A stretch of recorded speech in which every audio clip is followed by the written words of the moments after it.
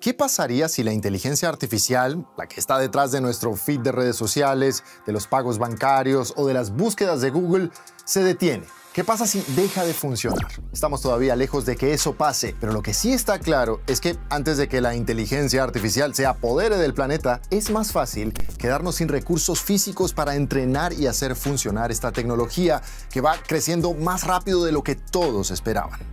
Aquí les cuento más. La computación, los cálculos computacionales de los programas de inteligencia artificial, normalmente se hacen en centros de datos. Estos son edificios que albergan miles de computadoras y servidores. Pero esta capacidad física, obvio, también puede llegar a sus límites de seguir usando la inteligencia artificial al ritmo al que lo venimos haciendo. Esto nos deja con dos opciones, o construir más centros de datos o hacer que la computación sea más eficiente y cualquiera de las dos soluciones, que no son excluyentes, se pueden combinar, trae sus propios problemas. Eso sin hablar de los datos para entrenar a la inteligencia artificial, que también son limitados.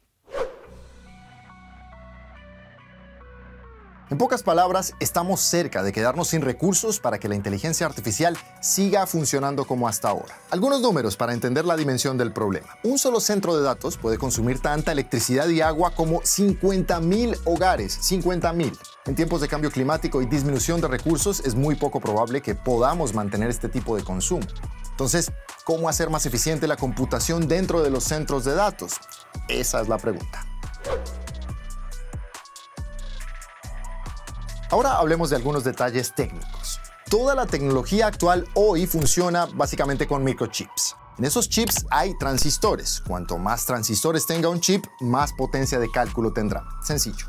¿Han oído de la ley de Moore? No, no es una ley científica, es un término acuñado por el cofundador de Intel, Gordon Moore, por allá en los años 70. Moore predijo que el número de transistores que cabrían en un chip se duplicaría aproximadamente cada dos años. Y hasta ahora sus cálculos han resultado ser ciertos, dando lugar a chips cada vez más potentes. Sin embargo, los expertos creen que esto alcanzará un límite físico en algún momento de la década de 2020. Esto se debe a que ya no disponemos de la tecnología necesaria para reducir el tamaño de los transistores ni para enfriarlos. Ahora, Aparte de estas limitaciones físicas, los nuevos datos para alimentar, para entrenar a la inteligencia artificial, también pueden convertirse en un problema.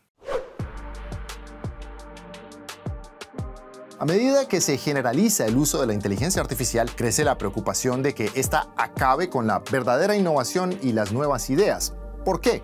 Bueno, porque aunque programas como ChatGPT o Midjourney se presenten como creativos, pues en realidad no lo son. La inteligencia artificial se basa en datos ya existentes que hemos producido nosotros los humanos anteriormente. Así que si esta inteligencia artificial se incorpora básicamente en todas partes, existe la posibilidad de que no se produzcan nuevos datos originales. Esencialmente, las inteligencias artificiales terminarían alimentándose a sí mismas, anulando todo lo que es nuevo, haciendo que la creatividad se estanque. Este escenario puede parecer irreal, yo sé, pero algunos expertos calculan que en el 2026 hasta el 90% de los contenidos de Internet podrían ya estar generados por una inteligencia artificial. Los expertos ya están pensando en soluciones a estos problemas, como que los centros de datos puedan construirse bajo tierra en minas o cuevas ya existentes. Por ejemplo, esto ahorraría espacio y recursos. Además, los flujos naturales de agua, por ejemplo, podrían ayudar a refrigerarlos y reducir el consumo de agua. Sin embargo, todo esto depende mucho de su ubicación y es difícil imaginar esto a escala mundial. En cuanto a los microchips más eficientes, pues para muchos es necesario replantearse la tecnología en sí. Los chips informáticos clásicos no están diseñados para tareas específicas de la inteligencia artificial, lo que supone un derroche de energía y un rendimiento inferior al óptimo.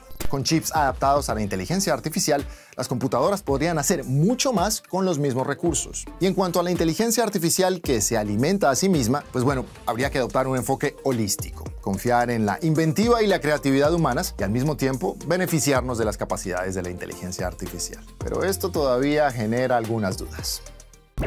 En general, está claro que hay que replantearse drásticamente cómo y hacia dónde va esta revolución tecnológica. Porque utilizar todos los recursos disponibles para un crecimiento a corto plazo ahora y obstaculizar el desarrollo en el futuro es claramente la forma equivocada de hacerlo. ¿Ustedes qué opinan? Esperamos sus comentarios.